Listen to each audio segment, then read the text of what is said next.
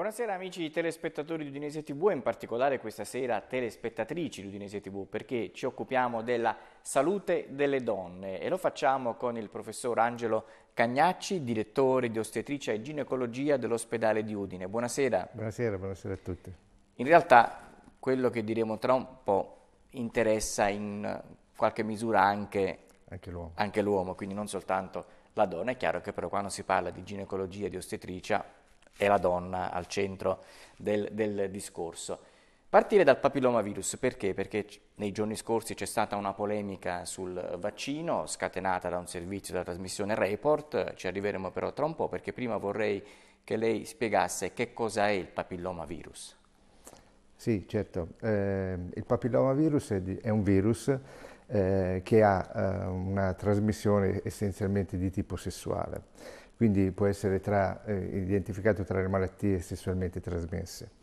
Eh, diciamo che di questo virus ne esistono vari tipi, eh, alcuni di questi danno delle malattie che non sono tumorali, tipo uh, le verruche o tipo i condilomi genitali, e quindi hanno diciamo, una prevalenza soprattutto per patologie della pelle, eh, che si manifestano oh, e che sono però anche diciamo sì, abbastanza invalidanti talvolta.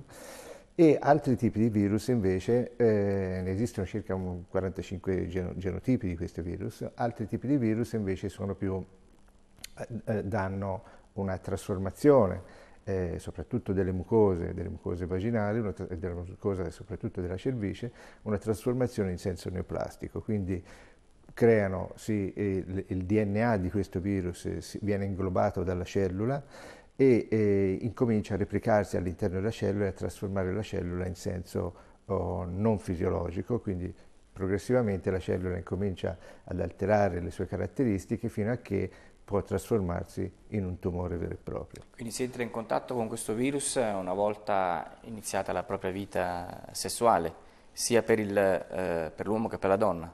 Generalmente sì, generalmente si entra in contatto con questo virus eh, durante i rapporti sessuali, quindi prima dei rapporti sessuali è molto difficile venire a contatto con questo tipo uh, di virus. Tuttavia, diciamo, nell'arco della vita della donna circa l'80% delle donne viene a contatto con questo virus quindi eh, diciamo, è una malattia, cioè è uh, un'infezione eh, potremmo quasi dire ubiquitaria, cioè è, è difficile non, non, venirne a contatto con questo virus. Ecco.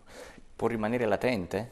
Può rimanere latente. Allora, intanto oh, diciamo, uh, questa infezione può essere eh, guarita eh, spontaneamente eh, dalla donna o anche dall'uomo nel caso che lo prendesse.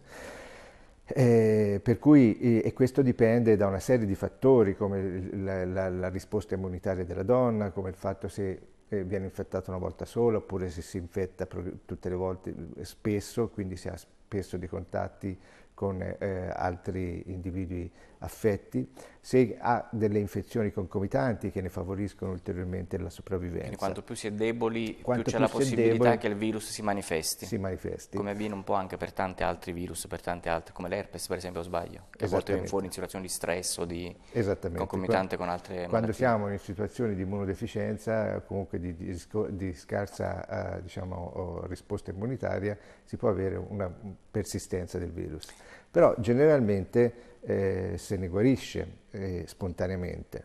Eh, progressivamente poi eh, diciamo che il, il, il, la trasformazione in senso enoplastico della cellula, in, in senso tumorale della cellula, richiede tempo, richiede un passaggio attraverso forme che non sono tumorali, ma che sono alterazioni iniziali della struttura della cellula, della struttura della mucosa, che progressivamente più, si avvicinano sempre più al tumore fino a diventare il tumore. Ecco, questo, Beh, questi passaggi consentono quindi alla medicina, alla scienza di intervenire nel, nel mezzo. Con esatto. quali strumenti si può intervenire? Esattamente, diciamo che l'arco eh, può essere, mh, mm, si, si pensa che vada dai 10 ai 30 anni nell'evoluzione di questa infezione per arrivare alla neoplasia, ma al tumore, ma non tutti diciamo, arrivano al tumore.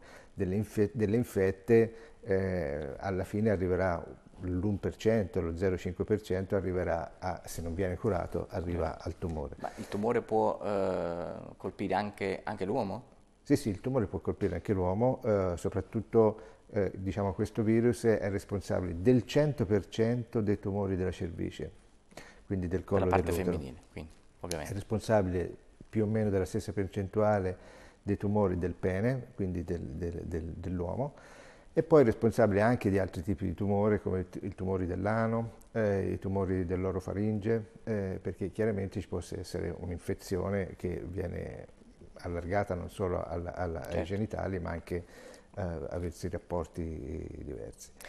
E chiaramente è favorito anche per esempio da uh, dei traumatismi, cioè è più facile che se il rapporto è di tipo traumatico si crei una lesione sulla mucosa dove il virus più facilmente si va, va, va a attecchire. È arrivato poi il vaccino una decina di anni fa, individuato eh, come causa di questi tumori il, il virus, è stato prodotto il vaccino. Andiamo subito sulla polemica. Allora, eh, Report ha sollevato il problema degli effetti collaterali. Intanto possiamo dire che per qualsiasi pratica medica c'è uno 0,1%, o percentuale magari sto dicendo una sciocchezza, ma comunque per qualsiasi pratica medica c'è una controindicazione, è anche vero però che quando si arriva a eh, utilizzare una procedura eh, sull'uomo vuol dire che c'è stata una sperimentazione severa e lunga tale da consentire di essere ragionevolmente, più che ragionevolmente sicuri che non ci siano problemi nel, nell'effettuare una pratica medica e in questo caso nel, eh, nel, nel vaccino. Eh, sì, eh, diciamo che il rischio zero non esiste, non esiste. nella vita. Cioè, io e lei siamo qui e pensiamo di non avere nessun rischio, cioè potrebbe, speriamo di no, ma potrebbe venire un terremoto e quindi non, non esiste un rischio zero. Eh, e quindi dobbiamo in un certo senso accettare eh, che non ci sia il rischio zero per qualsiasi procedura che noi facciamo, per la gravidanza stessa, noi pensiamo che sia fisiologica, ma c'è un rischio altissimo di patologie, di mortalità. Di, e ancora eh, oggi si, si anche... muore purtroppo durante il parto. Quindi es- esattamente, ci... quindi ehm, cioè, purtroppo, cioè purtroppo, meno male che le, le, diciamo, le mortalità, le patologie si riducono progressivamente col miglioramento delle cose, però chiaramente il rischio zero non esiste per nessuna malattia e per nessuna medicina che venga somministrata eh, così come per i vaccini. Così come per i vaccini. Chiaramente una volta che il vaccino viene introdotto in commercio è stato testato progressivamente e, e tutte le reazioni avverse valutate in trial clinici ben controllati. È chiaro che i trial clinici ben controllati sono fatti non su milioni di popolazione, sono fatti su migliaia di, di, di persone, quindi quando ci si allarga dalla migliaia ai milioni... Può subentrare qualche effetto non valutato prima. Può eh. subentrare qualche effetto non, non valutato prima e quindi questi casi che possono anche succedere. Eh, però bisogna diciamo, mettere tutto in relazione. È chiaro che se noi sentiamo oh, la persona che è stata colpita rispetto agli altri 999.000, certo. eh, ci facciamo un'idea eh, diciamo, sì, parziale della cosa. Ma forse il problema principale è che anche in queste, in queste situazioni intervengono eh, persone che non hanno una formazione scientifica, forse a parlare di queste cose dovrebbero essere medici, scienziati, ricercatori e non eh, giornalisti senza magari una, adesso non voglio dire quelli di report, per carità, sono preparatissimi e sono bravissimi, però è chiaro che se parla un medico eh, c'è un approccio diverso. Certo, no, questo, questo, è sicuro, Il, credo anche che sia un fattore di informazione, al di là della eh, di essere più o meno bravi come giornalisti e come medici, un fattore di informazione, ovvero sia che quando si parla in un dibattito uh, e uno uh, sostiene una tesi e magari è l'unico colpito da quella cosa e, e l'altro sostiene l'altra tesi e ha dietro di sé 999.000 persone, che, però nel dibattito siamo il 50%. Eh, certo, sì. Quindi la, la, diciamo sì, la percezione del problema eh, è molto più alta di quella che effettivamente è. Il vaccino può essere somministrato in qualsiasi momento della vita oppure c'è un momento specifico, particolare che lo rende più efficace? Eh, chiaramente è più efficace quando, oh, diciamo, allora, eh, di questi, di questo vac- de, dell'HPV ne esistono oh, tanti diversi genotipi, il che vuol dire diverse forme. E alcune di queste forme eh, sono responsabili di neoplasie, però diciamo, non c'è una forma unica eh, che, crea, che dà, dà, dà, origine al tumore. ci sono eh, varie varianti di questo oh, HPV che possono dare questo eh, tumore. E, e, quindi il vaccino oh, generalmente viene fatto oh, per eh, le forme che, maggior, che, più frequentemente danno il tumore. Quindi adesso facciamo un vaccino quadrivalente per le, quattro, per due forme eh, essenziali, che, eh, per le forme che essenzialmente danno sono responsabili della maggior parte dei tumori, ma non della totalità dei tumori, quindi coprono un 70-80% del rischio. E chiaramente sono fatte... Ma l'altro 20 è scoperto perché non c'è il vaccino per quel tipo di virus? Esattamente, perché eh, il vaccino non copre quegli altri tipi di, di HPV. Eh, quindi eh, cosa succede? Che eh, è più efficace chiaramente prima che ci sia stata un'infezione. Okay? Quindi è, è, più efficace il vaccino se non lo facciamo in, in donne e in bambine che non hanno mai avuto un rapporto sessuale. Quindi l'indicazione di farlo in giovani donne, dagli, ai giovani, anche adesso in, in Friuli, in giovani donne. Con, si sta iniziando anche con, con, uomini, con, anche con, gli uomini. Con gli uomini dai 11 a 12 anni che non hanno ancora avuto rapporti sessuali perché copre tutti e quattro i le, le, le, le possibili evoluzioni. I rischi. Però uh, si può fare anche più tardivamente e si può fare eh, individui maggiormente a rischio. Ma bisogna farlo quando si è sicuri che non si è stati ancora eh, non necessariamente perché, colpiti eh, dal virus? No, eh, l'indicazione è di farlo prima di essere stati colpiti dal virus, ma si può fare anche dopo essere stati colpiti dal Naturalmente virus. Naturalmente ci si può accertare se una persona ha il virus eh, Certamente latente. Si, si può fare, però chiaramente, eh, come le dicevo prima, siccome i virus sono di vario tipo, eh, uno è stato infettato da un tipo di virus, ma non probabilmente dagli altri 3 o 4 tipi di virus, quindi per gli altri 3 o 4 comunque il comunque vaccino è valido. È, è valido. Il papilloma è responsabile, lei ha detto, di alcuni tipi di tumore, ma ci sono anche altre forme tumorali che non dipendono da questo, da questo virus. Eh, quali sono e che cosa si può fare in termini di prevenzione per, eh, appunto, per, per far sì che eh, si possa tenere sotto controllo l'insorgere di queste Beh, diciamo che eh, dal punto di vista ginecologico oh, il carcinoma cervice per il 100% è responsabile il papilloma, quindi vari, i vari tipi di, papilloma, eh, di papillomavirus, ma il papillomavirus. Quindi lo screening con l'HPV test e poi, come dicevamo uh, prima, eventualmente eh, lo screening del PAP test che deve essere eh, comunque fatto, oh, per ora ancora in maniera regolare, perché ancora non abbiamo i dati di prevenzione assoluta del carcinoma della cervice, eh, è importante. Tutti gli altri tumori... Ma c'è una tendenza che si è manifestata pur non avendo un dato assoluto?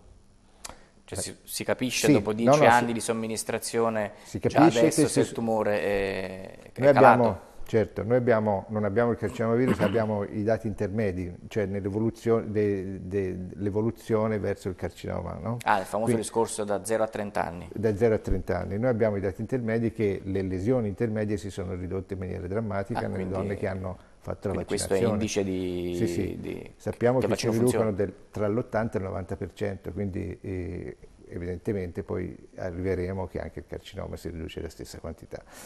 Gli altri tipi di tumore invece non, non, sono di origine virale, quindi non esiste un vaccino, ma di, hanno uh, altri fattori di rischio. Sto parlando del carcinoma dell'endometrio, per esempio il carcinoma dell'ovaio. No? E, e, e, in questi noi però sappiamo bene quali sono le donne che hanno, sono maggiormente a rischio, sappiamo i picchi di prevalenza, sappiamo le donne che hanno difetti dell'ovulazione, che ovulano male, che eh, hanno mestruazioni molto abbondanti, eh, nel periodo perimenopausale o nel periodo postmenopausale che sono sovrappeso sono a maggior rischio per esempio di carcinoma dell'endometrio. Quindi tutte queste donne, soprattutto in postmenopausa, che hanno dei sanguinamenti un po' irregolari, che compare una mestruazione, un sanguinamento dopo un anno, due anni che non ci sono più mestruazioni, devono avere un Bisogna campanello d'allarme eh, di dire mi vado a far vedere perché ci potrebbe essere che c'è qualcosa che si sta trasformando. Un'altra delle patologie di cui ho sentito parlare è l'endometriosi, che sembra essere abbastanza invalidante. Eh, che cosa è, a cosa può portare se non controllata e come la si può prevenire e tenere sotto controllo?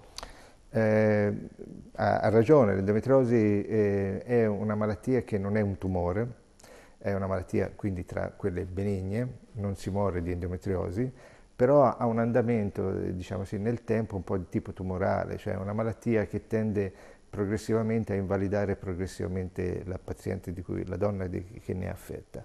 È una malattia legata essenzialmente alla presenza di tessuto, di quel tessuto che viene espulso durante le mestruazioni, il tessuto endometriale, che invece di uscire all'esterno rientra all'interno dell'addome e si impianta all'interno dell'addome. Qui crea diciamo, progressivamente dei fattori infiammatori, quindi delle aderenze, delle eh, distorsioni delle, dei vari organi e può portare poi progressivamente a disturbi intestinali, a occlusioni intestinali, disturbi vescicali, eh, dolori. Quindi sono come delle formazioni tumorali benigne. Formazioni tumorali benigne che però diciamo, è una malattia di tipo cronico, cioè una malattia recidivante, quindi eh, occorre eh, che causa infertilità e che è, è, una delle cause principali di dolore pelvico cronico, cioè è molto invalidante perché queste donne stanno sempre male. Stanno male. Stanno male. Ma ci si può eh,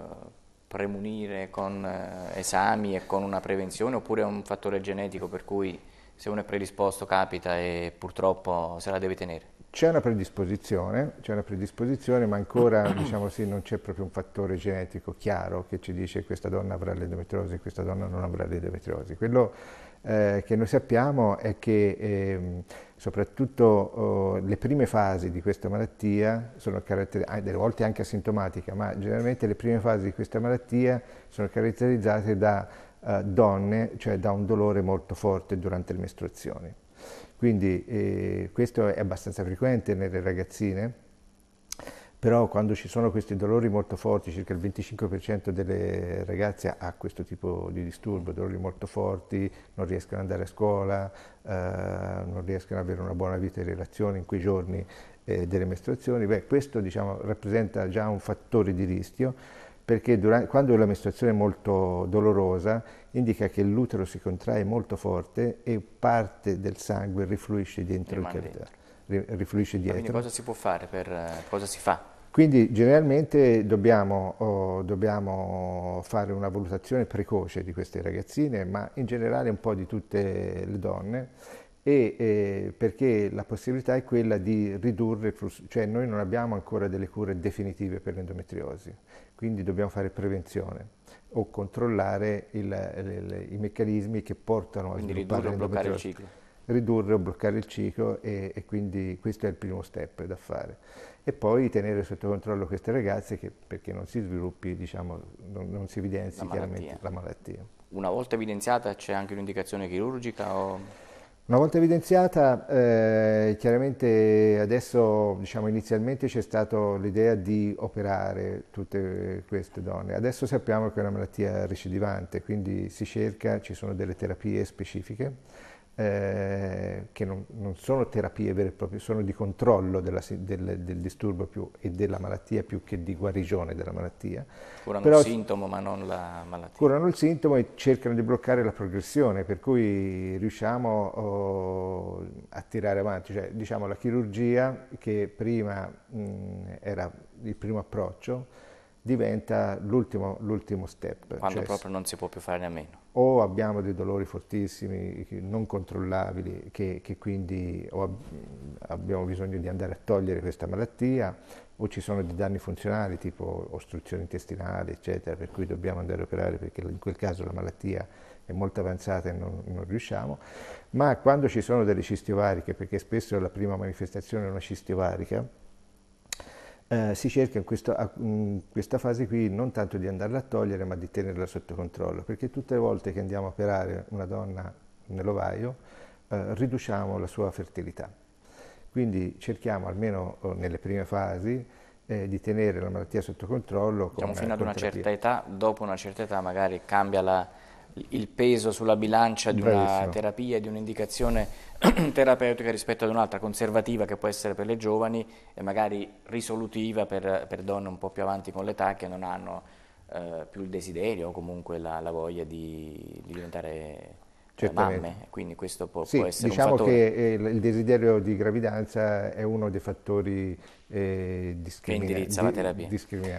Proposito di gravidanza, parliamo anche di cose belle. Finora abbiamo parlato di patologie, però per fortuna sappiamo anche che c'è la possibilità di prevenirle, di curarle, quindi eh, bisogna fare attenzione, fare prevenzione, seguite il medico, care donne che ci state ascoltando, andate dal ginecologo nei tempi che il ginecologo vi indica, il medico di base inizialmente per le prime informazioni e poi eh, seguire i consigli è la maniera eh, migliore per poter prevenire qualsiasi malattia. Parliamo di cose belle, la gravidanza, perché naturalmente ginecologia ostetricia non è soltanto tumori, ma è anche la nascita, che è la cosa più bella del mondo. Quali servizi offre eh, la sua struttura in ospedale? Per esempio parlo di parti particolari, si parla del parto in acqua piuttosto che quello naturale o quello cesareo che sono i due standard, chiamiamoli così, tradizionali.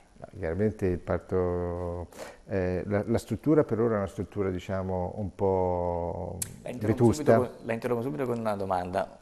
Un tempo si partoriva soprattutto per via naturale, poi c'è stato un periodo in cui si sono impennati i parti cesari. Mi sembra che da qualche anno a questa parte si sia tornati di nuovo al parto naturale. Intanto è così? Ancora oggi Beh, si preferisce il parto naturale? Beh, certamente. Eh, ci, sono, ci, sono, tanti dati che ci dicono che il parto naturale eh, da certi punti di vista è favorevole, è migliore è migliore per il bambino e soprattutto eh, diciamo sì, per una migliore maturazione del bambino e anche per la trasmissione di alcune informazioni da parte della madre al bambino. E sto parlando per esempio uh, della colonizzazione batterica del bambino. Il bambino vive in una struttura, in un ambiente sterile fino al momento della nascita. Eh, diciamo, molte delle nostre azioni, delle nostre funzioni eh, sono svolte da batteri che sono saprofiti, cioè che vivono in, in simbiosi con noi. No? E l'intestino, per esempio, è pieno di questi, cioè le, molte delle funzioni che noi... I batteri buoni, chiamiamoli così. Esatto, molte delle nostre funzioni sono fatte da questi batteri. Bene, durante il parto, durante il parto vaginale, il bambino fotocopia i batteri della madre, quindi i batteri che la madre ha sia in vagina che a livello del sistema gastroenterico e facendo così praticamente viene colonizzato rapidamente entro una settimana da batteri materni, cioè da, da, quella, da quei batteri che la madre ha. Se invece il, il parto avviene per il taglio cesareo, non riesce a, non, non, non, non ingerendo i, i, batteri della madre durante il canale da parte, durante il parto, non viene colonizzato da quei batteri lì, ma viene colonizzato da batteri di tipo cutaneo e quindi ci sono poi più tardivamente dei problemi diversi, una colonizzazione diversa, quindi disturbi gastroenterici, si sviluppano più facilmente malattie immunitarie, eccetera. Quindi c'è un ritorno al parto naturale. naturale. E devo dire anche le indicazioni della regione, ma anche della nostra azienda sanitaria, sono quelle appunto di ridurre progressivamente cesari, ma anche di ridurre progressivamente l'induzione del parto, cioè la farmacologia. Problemi, non solo per problemi di costi. Mi verrebbe da dire per problemi di costi, perché il cesareo costa sicuramente più di un parto naturale. Eh, non, non boh, necessariamente. La politica magari fa questo ragionamento, la no, medicina no. Eh, diciamo che non è non necessariamente, non è se, lei, se, lei, guarda nelle strutture private eh, il taglio di cesari è molto più alto che rispetto alle strutture pubbliche, perché eh, chiaramente tenere una persona eh, durante il, travaglio, travaglio do, impegnato 12 ore o 14 certo, ore costa, costa, molto di più che tenerne una mezz'ora in, in, sala, in sala operatoria. Non avevo pensato al travaglio, questo, non avevo fatto questo calcolo.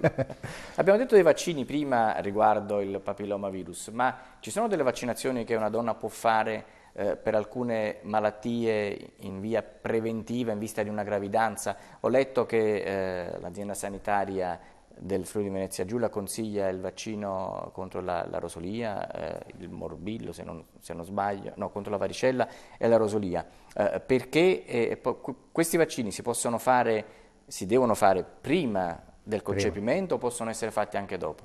No, no, i vaccini vanno fatti prima del concepimento eh, perché chiaramente si creano delle reazioni immunitarie, poi alcuni dei vaccini sono fatti da virus attenuati che quindi possono dare un'infezione comunque eh, anche minimale, ma eh, e quindi devono essere... un feto può, può, essere... Esatto, può essere infettato. E chiaramente questi, queste malattie eh, portano a delle malattie fetali importanti, eh, se venissero contratte durante la gravidanza, quindi sarebbe meglio essere vaccinati prima. Quindi è consigliabile di... farlo prima. Sì, sì. Anche in questo caso quindi l'informazione quando si ha intenzione di concepire un, uh, un figlio uh, di prepararsi prima, non sempre è possibile prepararsi prima, a volte capita così all'improvviso, però capita, quando certo. è un progetto è bene che lo si inizi uh, a sviluppare dalla base, andando a vedere le proprie condizioni di salute, magari seguendo appunto i consigli dei medici.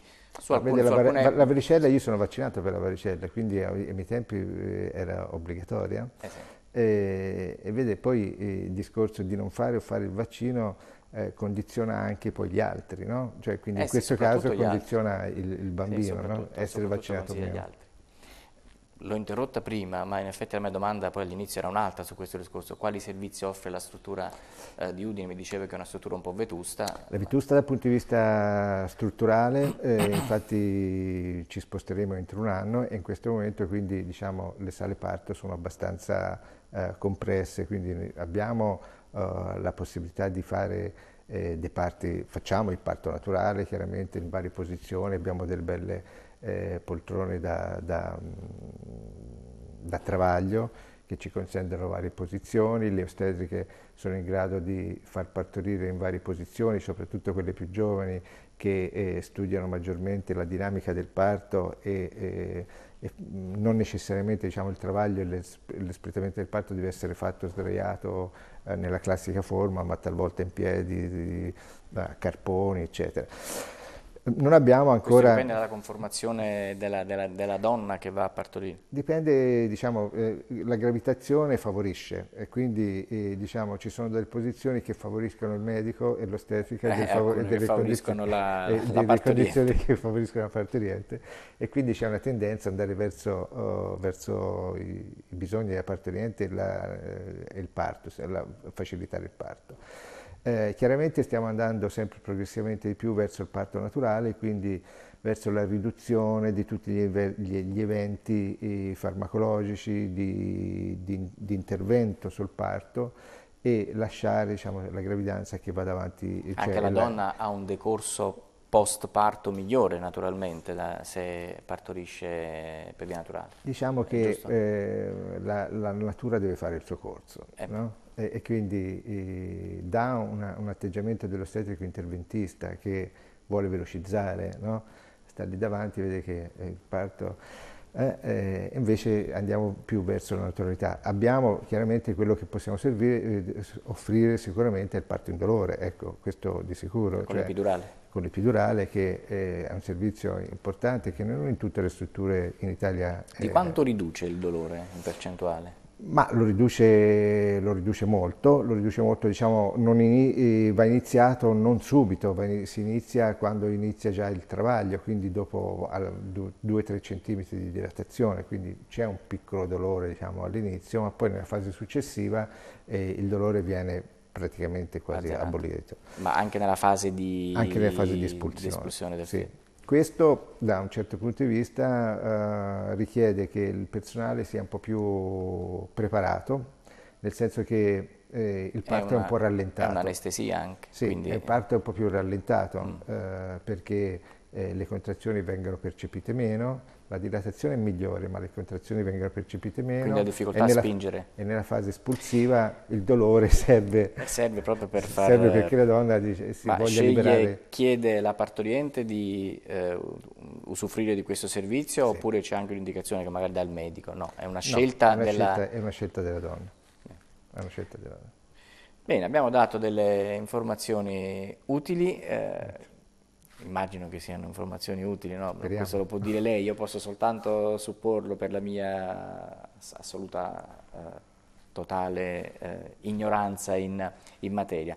La ringrazio professore per essere stato con noi, avremo Grazie. modo senz'altro di averla qui nei nostri studi perché poi la sfera della ginecologia e dell'ostetricia è ampissima, è come, come, tutte le eh, branche della, della medicina, quindi c'è sicuramente la possibilità di parlare ancora di tanto altro e non necessariamente, come abbiamo fatto adesso con il parto, di cose eh, brutte, di malattie, di patologie. Si può parlare, come vedete, anche di, della vita che è rappresentata appunto dal parto, dalla nascita. Grazie, grazie ancora professor grazie Cagnacci, a grazie a voi per averci seguito, ci ritroveremo la prossima settimana come sempre su questa rete venerdì alle 20 con una nuova puntata di Salute e Benessere.